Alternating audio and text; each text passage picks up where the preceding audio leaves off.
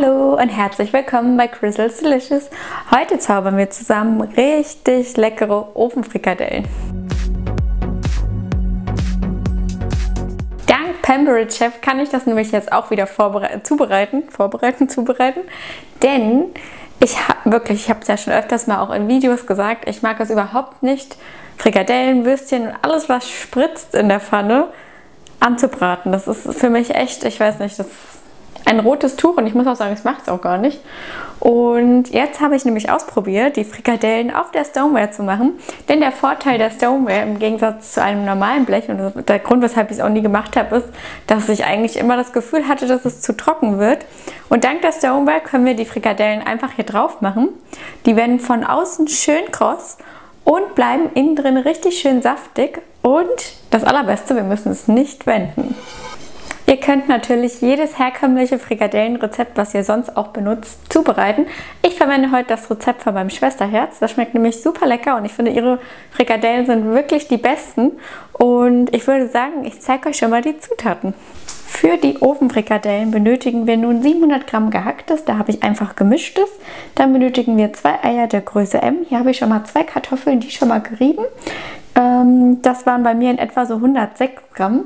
Dann zwei Zwiebeln in ganz feine Würfel gewürfelt. Das waren bei mir ca. 140 Gramm.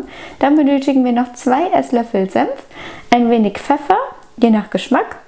Dann verwende ich außerdem noch anderthalb Teelöffel Salz und ich würze das Ganze noch ein bisschen mit einem Viertel Teelöffel Kreuzkümmel.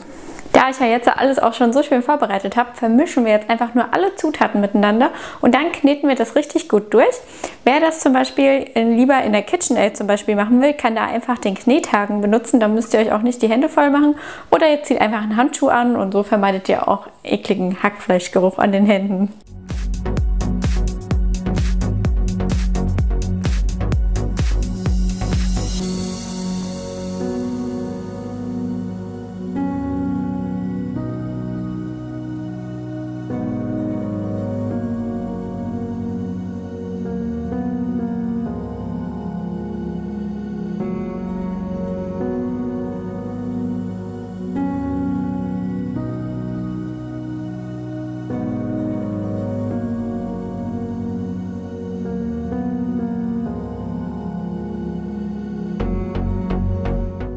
Ich finde, das Auge ist immer mit und deswegen empfehle ich euch einfach immer gleich große Hackbällchen zu formen. Ich mache das jetzt mit dem großen Eisportionierer von Pampered Chef. Ich finde, das ist die perfekte Größe für mich und für uns sozusagen, weil ich eher so die mittleren, kleinen Frikadellen mag.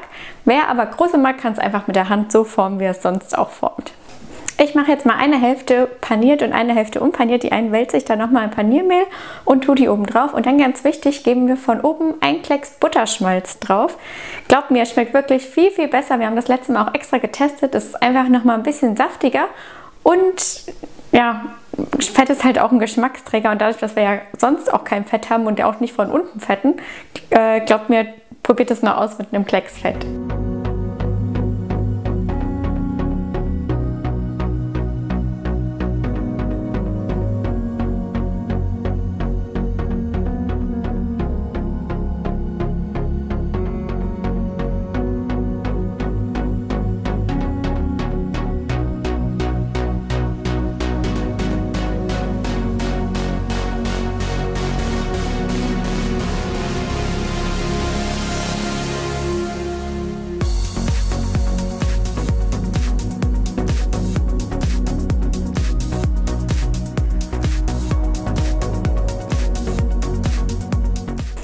Und jetzt wandert das Ganze in den vorgeheizten Backofen bei 220 Grad Ober-Unterhitze wie immer in die unterste Einschubleiste für 30 bis 40 Minuten. Schaut einfach, ähm, wie euch die, der Bräunungsgrad gefällt und wie euer Backofen ist.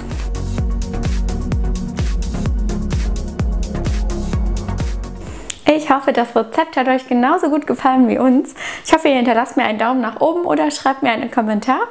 Und das Rezept gibt es wie immer in voller Länge auf meinem Blog. Meinen Shop verlinke ich euch auch unten, weil falls euch irgendwas von Pampered Chef und der Stoneware interessiert, könnt ihr gerne stöbern und schauen. Und ähm, ich würde sagen, wir sehen uns nächsten Sonntag wieder.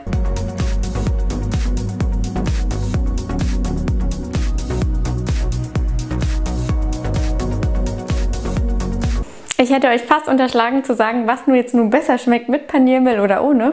Ich muss euch ehrlich sagen, ich kann es gar nicht so genau sagen. Ich finde beides sehr lecker. Und ich würde sagen, entscheidet einfach selbst, was euch am leckersten schmeckt. Also bis dann.